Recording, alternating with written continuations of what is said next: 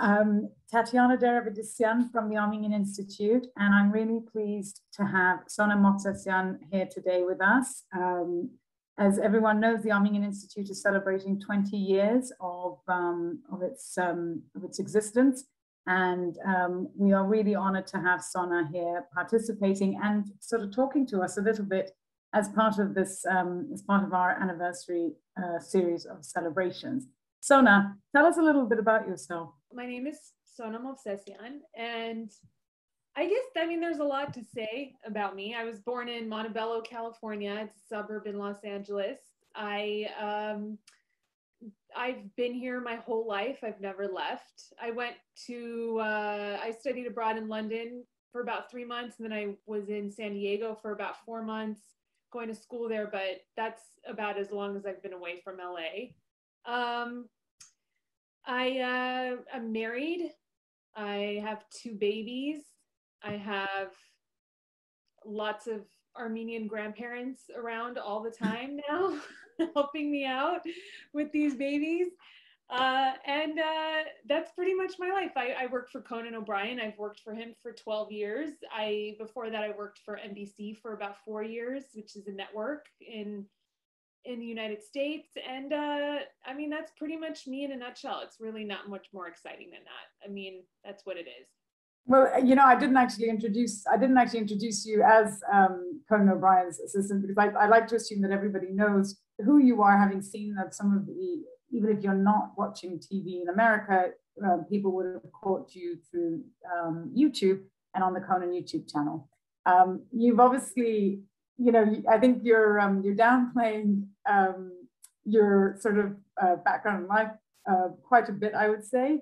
Uh, um, I think it's fair to say from what we see as um, viewers of of, um, of this show, you've been very much hand holding um, him throughout the years, um, everybody knows that a personal assistant is, you know, uh, is the key to um, a lot of one's success. Uh, so, I mean, tell us what what's been what has it been like working for someone as successful as Conan O'Brien, um, and you know, what have you how what have you learned? What have you sort of you know from your own background what have you been able to bring as well to your workplace? Um, working for so I never worked directly for uh, a celebrity before I worked for Conan, so I didn't know what to expect. I, you know, I think that like a lot of people, I had these images in my mind of typical entertainment assistants who, you know, run around the city getting dry cleaning and walking the dog and picking up kids from school and stuff. And so I really didn't know what to expect. Um, and luckily I, I think I hit the jackpot. I hit I uh, I work for somebody who's really great. He's uh, very understanding of my my time. He's um, he's you know he he and I have developed sort of like a brother sister relationship, which um, I think can sometimes also be a hindrance probably to you know us doing our our work or me doing my work properly.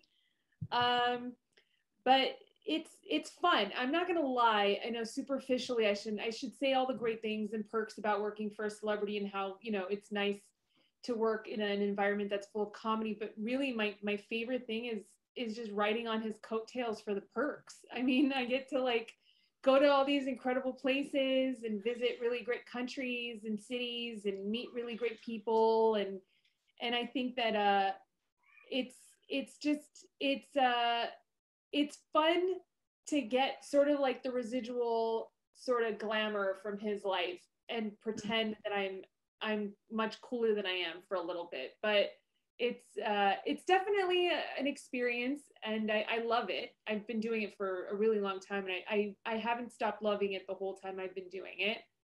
Um, and then my background, I think that uh, I mean, my my background, if you're talking about my Armenianness, and if I bring that into working for him, I think it's inevitable. I mean, we we work in LA. There's a huge community here.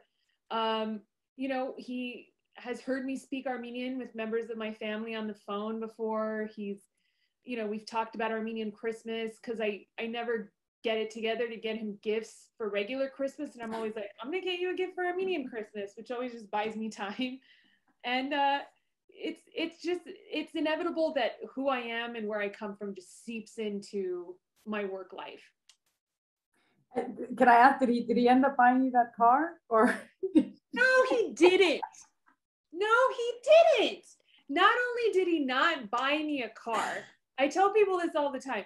So in the in the piece that we taped, he like tore apart my car, was like making fun of it, and I thought, oh, okay, they'll just fix it after we shoot. No one fixed it. No one fixed it. And then I think like a few months after we shot that piece, my car just died on the freeway. Oh. Died. And so uh, I had to end up getting another one. But no, he got me that gross car he gave me on on camera. It was disgusting. I mean, it was just like horrible car that he got me. But no, I mean, I think that everyone thought like, oh, he gave you that really bad car and then behind the scenes he probably like got you a nice like car but no i mean i kept hoping that. no absolutely not all right you need to bring that up with him but he did take you to armenia and i think that that was was that you pushing him or was that just him deciding one day you know what i i just want to know what your um what your roots are like you know what your roots are that that was him. I mean i wish i could take credit for it. I think that in the sense that i can take credit for it it's i talk about my armenianness so much that i feel like i it was like inception. I just kind of like somehow planted it in his brain. But uh, we had gone to cuba earlier that year and it had gone really well and and conan uh, wanted to do this series where he just goes to different countries and explores them and and uh, and learns about the cultures and and and everything and so we were talking about which country we should go to next. I mean, we were, I remember the meeting, we were all kind of like throwing out all these incredible places. And then Conan was like, why don't we take Sona to Armenia? And he, you know, uh, and I think I was like, no one's to go for that. Like, there's no way that people are going to be like, that sounds like a great idea, but everybody liked it. And then we did it. And so, I mean, it's all, it was all Conan. It was his idea to do it. Well, I, I remember the, the, the, the, one thing that struck me was the, I think at the time you weren't married or, or you weren't engaged and, and he took you to a, um, a matchmaker over there. Um, th- th- was that woman actually any good? Oh my God. was it helpful? I mean, it must have been so weird for an LA Armenian to be going to go to a Yerevantsi matchmaker. it was, it was. Also, I didn't know this, but I don't think they're I don't think that matchmakers and people who do that stuff, I don't think they're like I, I don't I, I mean I I, don't, I want to say they're kind of looked down upon a little bit in Armenia, but are they? I'm not sure. Yeah, I I think I heard somebody tell me that, but it was so funny because before we went, Conan did this interview with my family, with my grandparents and my parents, just sort of talking to them about my Armenianness and like telling them we were going to go. And all my grandma cared about, she didn't care about the cameras or this like late night talk show host. She was like, find my granddaughter a husband. Like that's all she cared about. That's all she talked about. She was just like, just find her a husband. She didn't know who he was. She didn't care there were cameras pointed in her direction. And and that's how my yaya was towards like the end of her life. She was very much like uh, I think she knew that the end was coming for her, and she just really wanted me to get married. Um, and then when we were in Armenia, no one told me that we were going to go to a matchmaker until we got there. And I'm not going to lie, I mean, I I can't remember laughing that hard shooting anything else in Armenia. I mean, it was like every guy she showed us, she's like, this guy's great. He's, you know, you 35 and he's really nice and blah blah blah blah blah. And then she'd be like, Well, there's one thing that you need to know about him, and he was in prison for stabbing it was like every guy came with like a ca- caveat, and the one guy who was like kind of normal was like 19 or something. So it was just so it was so funny. I remember just like she'd be like, "This guy, he's great, blah blah blah. He's got a good job," and then we'd all sort of hold our breath and be like, "What's the catch here?" And she'd be like, well, the catch is blah blah blah blah. He's got six kids from his ex-wife that he just divorced three months ago. You know, I mean, it was there was always like this like asterisk next to all their names. You know. Well, it must be, it must be because, um, and you know, myself being Armenian, you, you, your parents think that they know everybody who's right, who's a potential match for you. So, like, I guess it's the last frontier going to the matchmaker. I know. I think so. I mean, but, I, I think that they had just failed so many times here. They were like, let's just see what happens there. Maybe she'll have better luck. Yeah. But tell, I mean, so, I mean, you know, you did obviously, and, and I, and I, uh, when I met you, you were, you just married, you were just married and your husband seemed very lovely. So I don't know if you want to tell us a little bit about how you guys met, because if I'm not mistaken, he's from, he's originally from Armenia as well. He didn't grow he up is, in LA. He, he is originally from Armenia. He came here when he was 11. Uh, so he's been here for quite some time now, but you know, he's uh, I think that you know, you there's always so much of of where he's from and and how he grew up that seeps into who he is. I mean, it's inevitable that that would happen, and it's it's nice. It's nice to get that sort of different perspective. Um, but yeah, I think after I want to say maybe six months after uh, we went to Armenia, my you know I was in San Diego with work at the at Comic Con, which is you know the big comic yeah. convention that's got like I don't even know how many mm-hmm. hundred thousand people. I don't. It's it's this massive massive event, and I was walking around with my friend who's not Armenian, and he was walking around with his friend who's not Armenian, and our friends knew each other, and so they ran into each other, and then he and I started talking, and he recognized me from the show and he you know told me he was armenian and and we really hit it off so it was just very random. Um, but it, it, it, was nice. I mean, it was a nice sort of random kind of meet. And, uh, and, you know, two years later we were, we were married. so yeah, I mean, you know, the, it, but at that point my grandma had unfortunately passed away, but oh. I also feel as though when she passed away, she like went up and like did something. I really think that she was like, she was pulling the strings somehow. I mean, she she was involved in whatever way she was involved in, you know, from from the great beyond. Yeah, she, she's probably dancing as well with joy. Um, that that's a beautiful story, actually. That's quite beautiful. Um, I mean, I guess it, it must be. Um, I, I don't know if he sort of lived in San Diego or if he was there visiting, but LA Armenians are quite, I would say, distinct from a lot of other um, Armenians around the world. And, um, you know, I think they're even, they're very different to New York Armenians and so on. And, there's a lot of stereotypical notions. I remember when I first visited LA, there was so much I learned about Armenians there that I hadn't, I didn't know, like, you know, how many are incarcerated, which I, I was really surprised about. But um, yeah. And you know, and I have seen these through certain TV shows over the years where there are some certain types of Armenian stereotypes. So, what are the kind of Armenian stereotypes that um, you see um, on a daily basis in, you know, when you're out and about in a non-Armenian environment? Um, how do others perceive Armenians over there? Um, one of the biggest things about our community, and I'll say this because it's proven, is we're terrible drivers. And I'm going to say that because I moved to Glendale, and I think Armenians all over the world know about Glendale because it's our little it's our little hub in Los Angeles. I mean, everywhere you go, there's Armenians. But it's the second motherland. There, huh? It's the second motherland. it's the second. It is. It's the second motherland. And if you move there, your car insurance rates automatically go up, and not by a little bit, by a significant amount of money. And it's because anybody who moves to Glendale, they have a higher risk of, you know, getting into accidents and stuff because the drivers there are terrible. Um, and I want to say somebody gave me some statistic. I don't know how accurate it is. I don't even, I, it might even be irresponsible to repeat this, but there are more accidents in Glendale than there are in most cities in the United States. What? So, yeah. So we are terrible drivers. Uh, and it's and it's not just me saying that as a stereotype. It's you know like your car insurance is saying that. Um, but also you know I mean I think as as big as as the community is in LA, each place that you're from in LA also has its own sort of characteristics. So I'm from Montebello, and the community in Montebello has a lot of Rusahais, a lot of high Hayastansis, And a lot of the Rusahais that live there have been there for a while, since like the 60s. So, relatively speaking, for the Armenian community in LA, that's pretty old. Um, mm-hmm.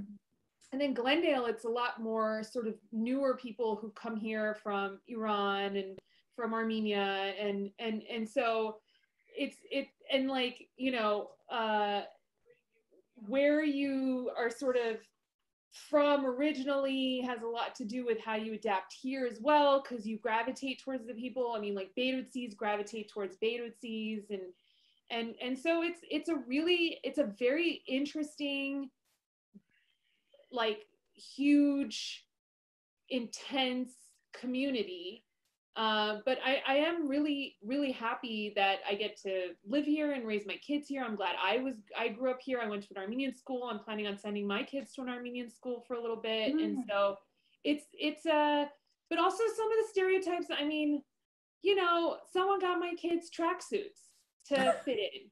And uh you know it's like there it's like baby's first tracksuits.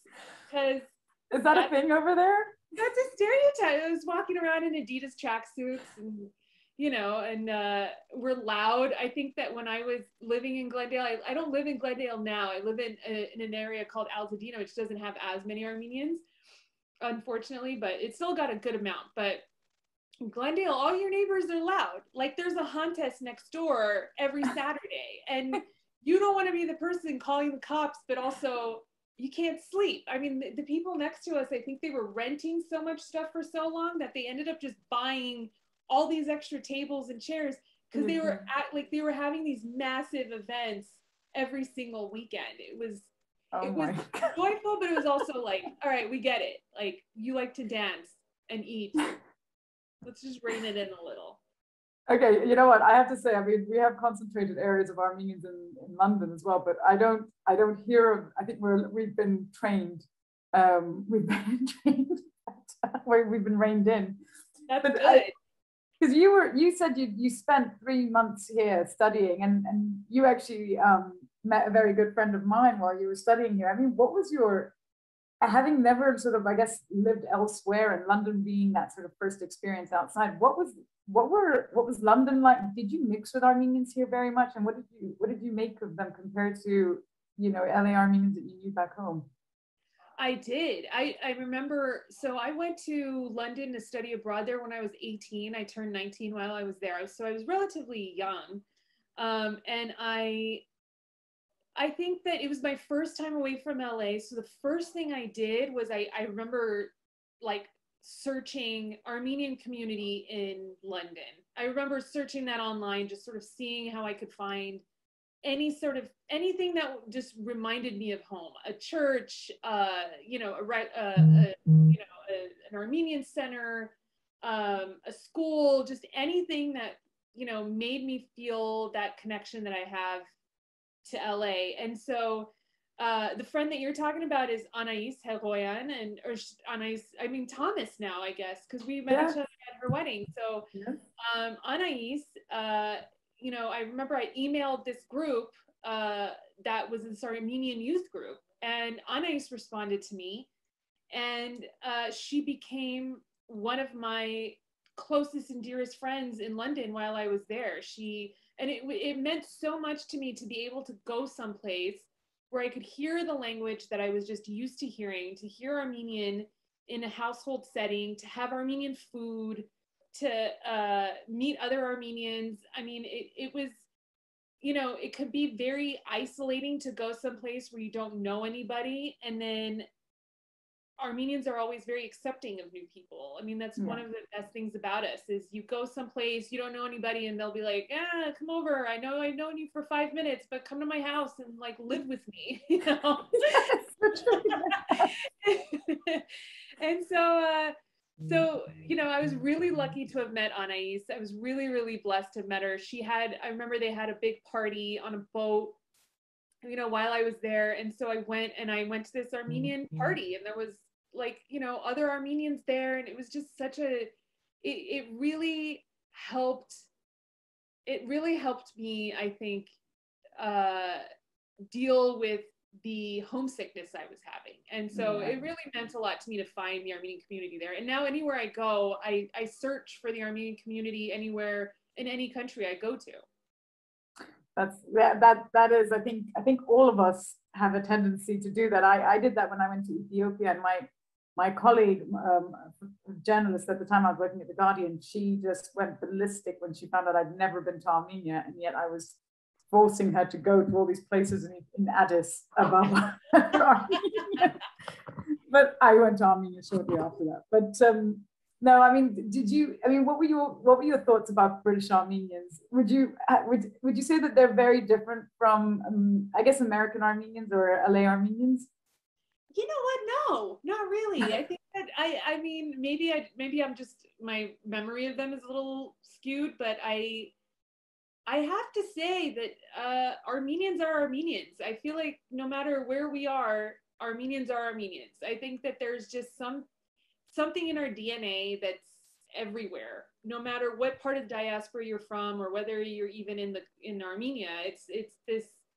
There's uh, something about Armenians that is so familiar no matter where you are. And so, but I really loved the British Armenians. I think that they were I mean, you know, they're just, they were really sweet to me. They were really kind. They were very curious about me. And I think a lot of people have this fascination with LA just because our community is so big and mm-hmm. and and you know like uh, to to just walk around Glendale and see Armenian storefronts is something that's a little foreign for some people. It's weird. It's it's not something they're used to and and so I think that they are always like I remember they just asked me a million questions about LA and about you know where I was from and stuff and and it was it was nice. I mean, but I and in terms of the difference, I can't say I I, I mean I can't say I really noticed much of a difference. I feel like I feel like I noticed a lot more similarities than I did differences that's good. That's good. I think I think that's a fair. I think that's a fair comment. Um, I do think that we have a little bit. We we developed. Um, we've picked up traits.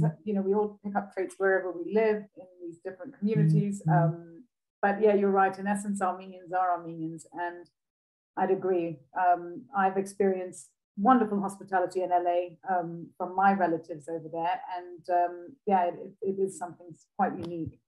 But I, you know what, I want to say thank you very much, though, for agreeing to speak to us and, and to learn more about, I guess, you um, or hearing more about you.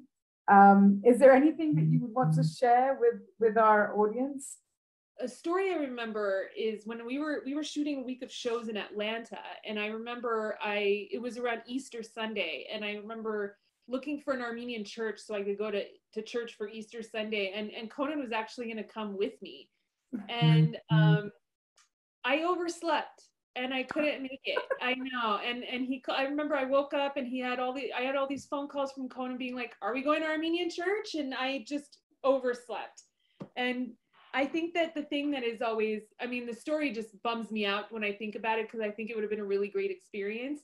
But if you are anywhere, if you're anywhere in the world or any city, we're there in some capacity, I think. And it's always very enlightening to go and see um to see the community, see whatever Armenian church we may have uh, built somewhere. Even if the community is super tiny, I remember the Armenians from Hawaii reached out to me once, and wow. uh, and everyone is so proud. They're very proud of even if there's like four of them, four families you know that's their community and it's it's a really beautiful thing to see and i think it's important especially for people from really big communities like the one in la to just go out and and and whenever you're traveling to just sort of find that armenian contingent and just sort of learn a little bit about them because I, I really do think it's just it's just beautiful how we've stuck together